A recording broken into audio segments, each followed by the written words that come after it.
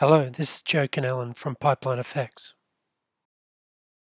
I'm going to be showing you through some changes we're making to the Qube interface for version 7. Firstly, we've modularized the interface. Each section is now a panel that can be individually resized and moved around. If you drop one panel over the top of another, the two will dock together and you can switch between them using the tabs.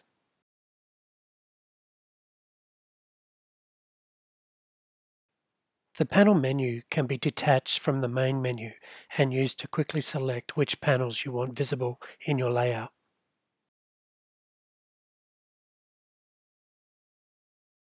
We've added a Python console panel that allows you to access Qube programmatically from within the interface. There is also a log panel that logs progress and errors while using the interface. You can see that we can also rearrange the tab positions when two panels are docked together. The Qube interface remembers your layout, so when restarting the interface, everything will be as you left it. We have a number of predefined layouts that you can switch between using the Layout menu.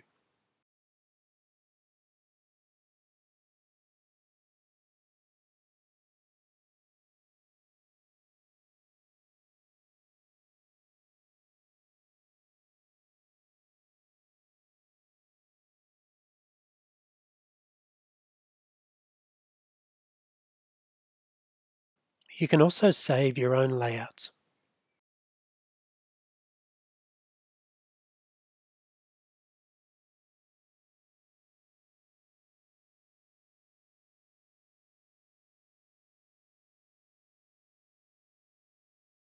We have also added themes that allow you to change the interface color as well as the appearance of widgets and icons.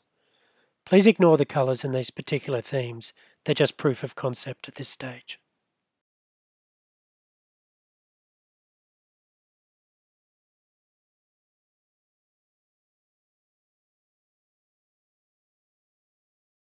A new feature coming in version 7 is our mini job view, which allows you to quickly check the status of jobs from wherever you are on your computer. Qube does not need to be running for the mini job view to work and is activated with a user configurable system-wide keyboard shortcut. The filter for the displayed jobs matches your previously set filter in the main Qube interface. If I double click on a job, the mini job view will open the main Qube interface and select the job, if Qube is already open, it will be brought to the foreground.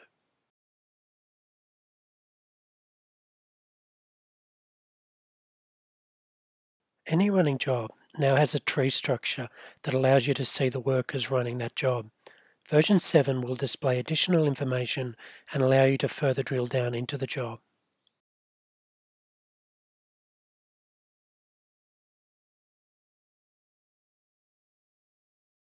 We have made some major changes to the submission interface to make it easier to find and set the desired job parameters.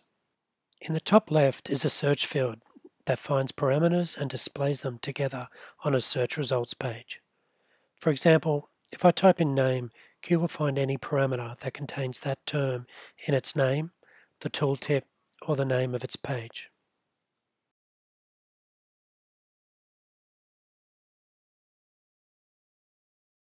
Of course I can set the parameters directly on the search results page.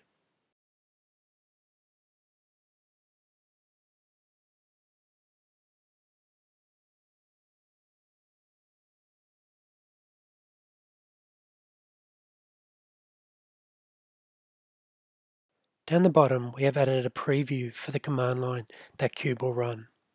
As I change the parameters inside the submission interface, you can see that the command line updates in order to show that change.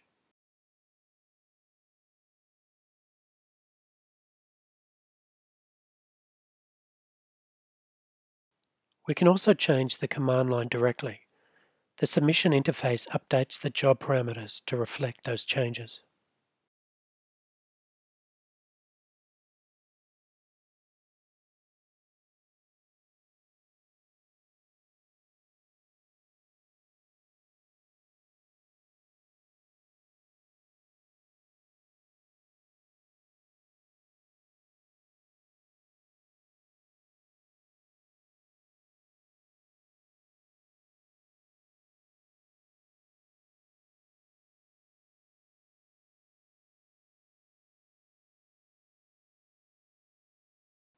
We have also made several improvements behind the scenes. For example, jobs with large output locks now load 30 times faster and no longer get truncated at 5 megabytes. We have an improved error and performance reporting system that will take the hassle out of reporting bugs.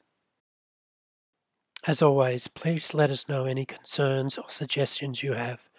Now is a good time for us to integrate them into version 7. Thanks for watching.